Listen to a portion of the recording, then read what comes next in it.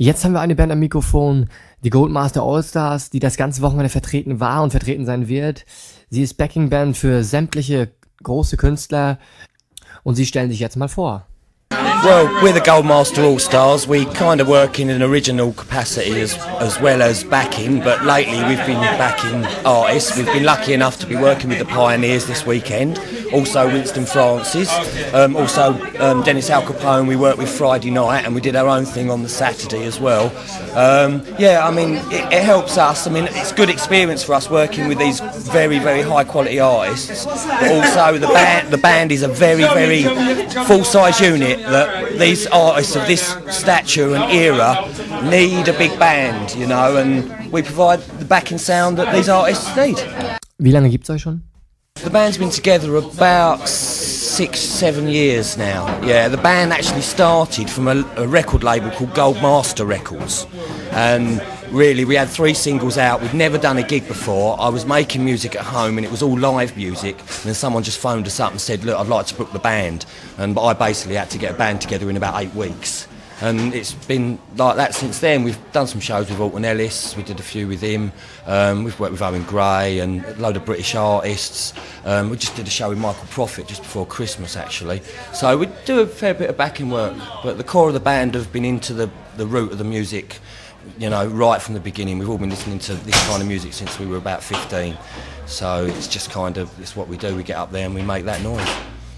Okay, äh, wie, wie wird man, was muss man tun, um, um Backing-Band zu werden von so vielen großen Musikern? Also, Well, um, really, the first move we really made, the biggest one, was probably um, Alton Ellis was the big deal that we ever first worked with, and that was just really pure luck, really. I mean, um, we were we were doing a, we did a show with Mark Lamar. Does, does that name ring a bell? Mark Lamar's a, a presenter in the UK, and he's also a music man that works for the BBC, does ska shows and things like that. And we did a show at the Camden Underworld with him.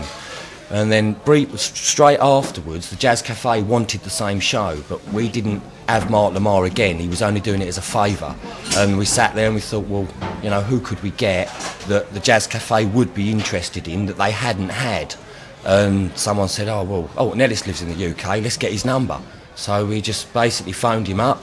I went up to a show that he was doing in London and, presented that we could present a band that was 12 piece with four horns and upright double bass and, you know, Hammond organ and the full sound and it wouldn't just be one horn and, you know, and a small backing band and we can give a big sound. And it really went from there really. And you know, we can give them a, a good sound that they're used to, that they used to get in the 60s and the 70s.